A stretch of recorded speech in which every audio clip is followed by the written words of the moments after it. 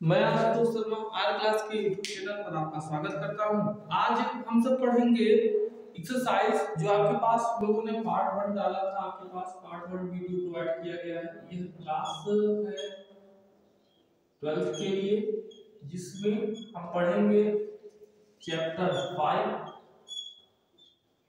Chapter five और exercise है आपके पास ये एक्सरसाइज है।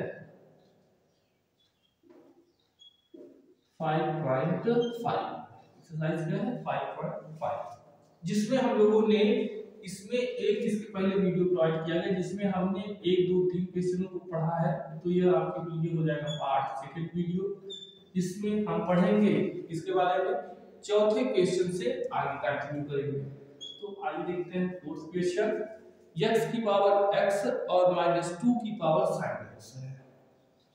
x की पावर x टू की पावर है साइन एक्स अब देखिए x की पावर x है और टू की पावर है साइन x तो हम यहाँ से सबसे पहले मानते हैं y इक्वल टू x की पावर x माइनस टू की पावर है साइन x तो यहाँ से हम करेंगे क्या? देखो, जब फलन की घात फलन यह तो फलन की घात फलन नहीं है, अचर की घात फलन है, लेकिन यहाँ पर है फलन की घात फलन तो हम यहाँ पर मानेंगे इसको u. देखो हम मान लेते हैं कि y इक्वल टू हो गया u प्लस b और यह हो गया समीकरण नंबर एक।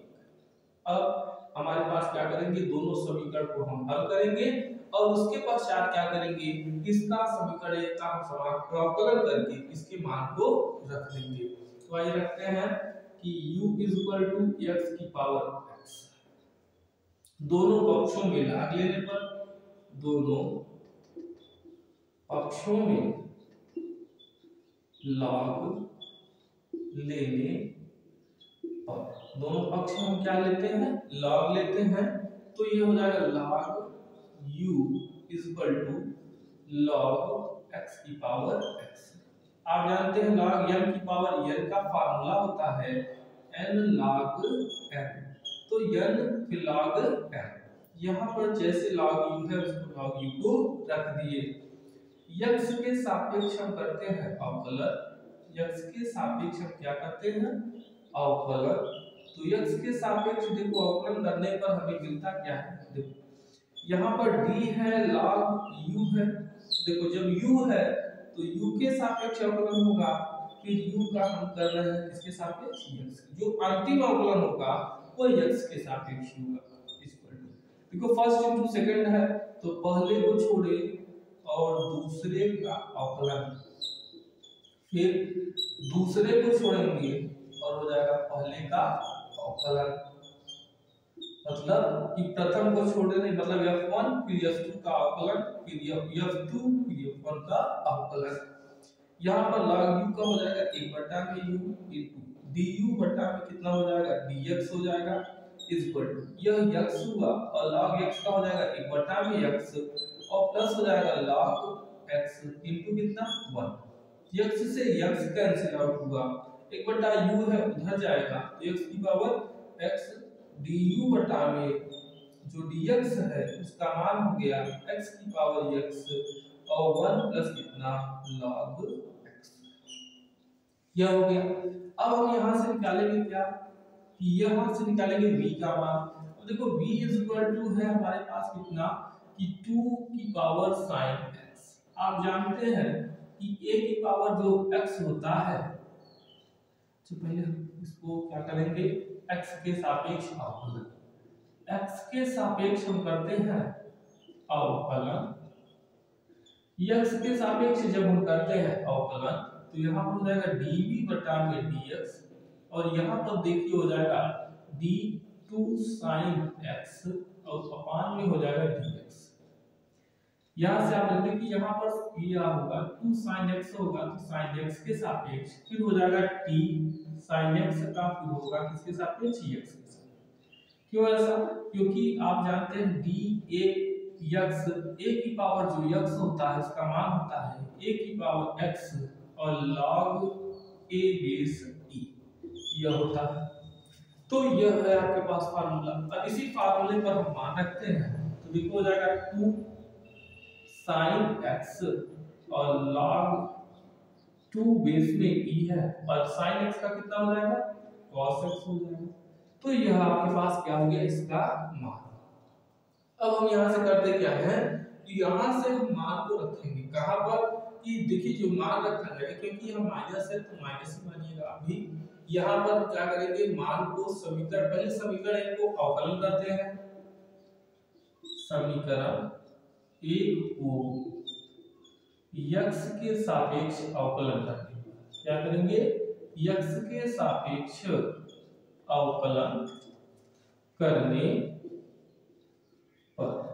अगर अवकलन करेंगे, हमारे पास हो जाएगा dy upon dx equal to du बटा में dx माइनस dv बटा में dx मान रख दीजिए सभी का। इसका मान यह है हो जाएगा x की power x 1 plus log x और यहाँ पर माइनस इसका मान है 2 की पावर sin x इंटू है log 2 बेस में e है और यहाँ पर है cos तो यह आपके पास क्या हो जाएगा? आंसर हो जाएगा कौन से क्वेश्चन का?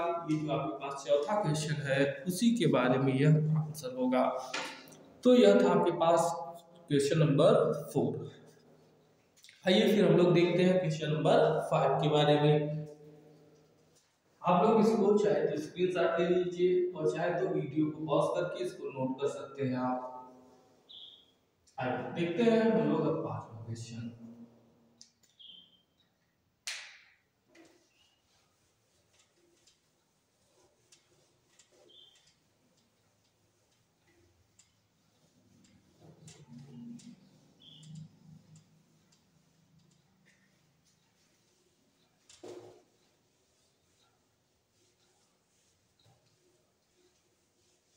यदि अभी तक आपने वीडियो को लाइक नहीं किया है तो वीडियो को लाइक कर दीजिए और यदि सब्सक्राइब नहीं किया तो वीडियो को सब्सक्राइब करना ना भूलें।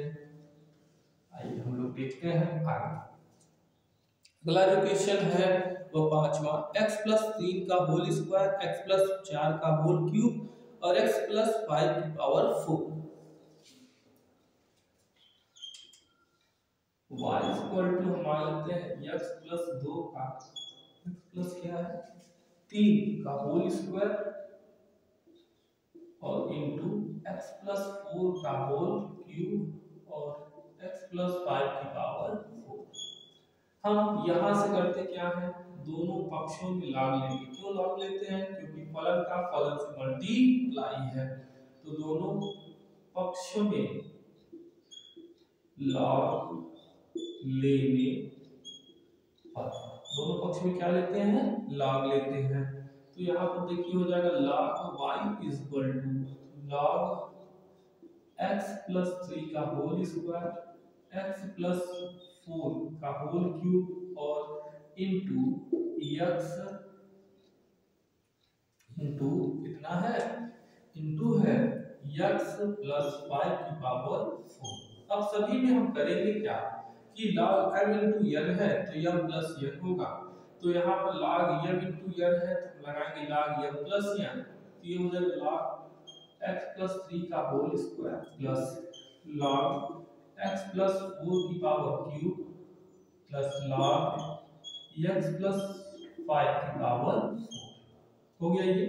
अब हम ऐसा देखते हैं कि यहाँ पर देखो log m की पावर n है तो log m की पावर जो n होता है, वो होता है n log m n log m तो यह दो into log x plus three plus तीन into log x plus plus चार, और log हो जाएगा x प्लस फाइव यह हो गया।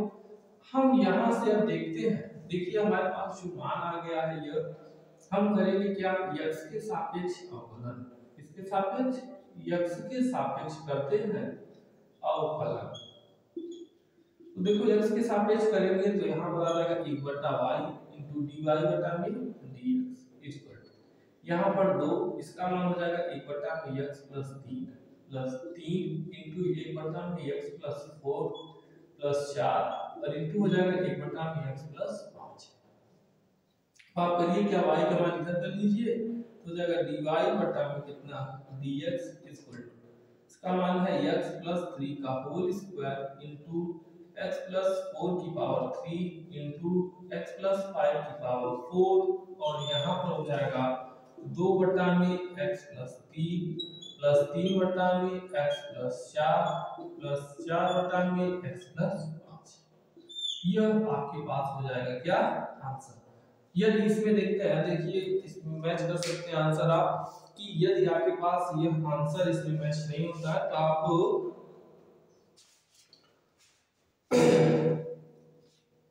कौन सा हम लोग एक्सरसाइज 5.5 फाइव क्वेश्चन तो यह आपके पास थोड़ा सा सॉल्व कराया गया है, और इसको हम लोग आगे और सॉल्व कर सकते हैं। नहीं तो यहाँ तक जो आपके पास क्वेश्चन है, यही आपके पास क्या हो जाएगा? कि यही आपके पास, यही आपके पास जो होगा, यह जो है, यही आपका क्या होगा? आंसर होगा। तो इसके आगे हम लोग देखते हैं अगला क्वेश्चन